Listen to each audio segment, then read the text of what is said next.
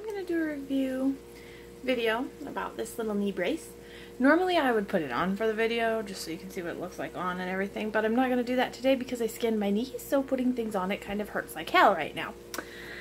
Anyway, so I've used this one a little, and it's nice and stretchy, and it doesn't have any kind of weird smell to it.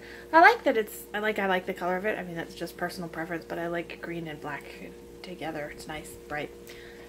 I quite like it.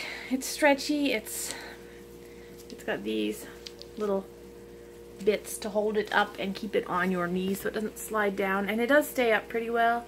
Um, their fit guide is a little hard to figure out. So when buying mine, I just looked at the Amazon uh, reviews and saw what other people were saying, the size they went for, because I bought like a medium.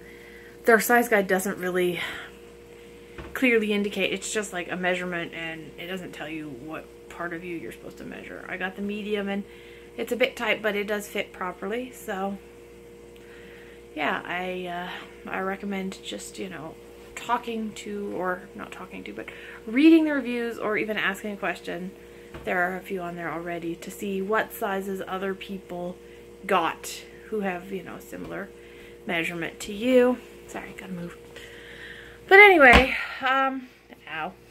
So yeah, it's a pretty good uh, knee brace. It fits well. It's not uncomfortable. It doesn't cause any kind of weird itching or chafing or anything like that. So that's always nice. Um, I don't know really what else to say. It works. It's not too overly priced. I like that it's not the kind that has that little hole for the kneecap, the patellar support thing. I know that for a lot of people they like that, but I it's just really uncomfortable for me. So I just don't like those on my personal knee braces. But yeah, it fits well. And I like the bright green too because that means that like it's it's easier to see you if you're out walking at night. So that's always good. I guess you should probably wear reflective clothing in general when you go outside at night, but everything helps, right?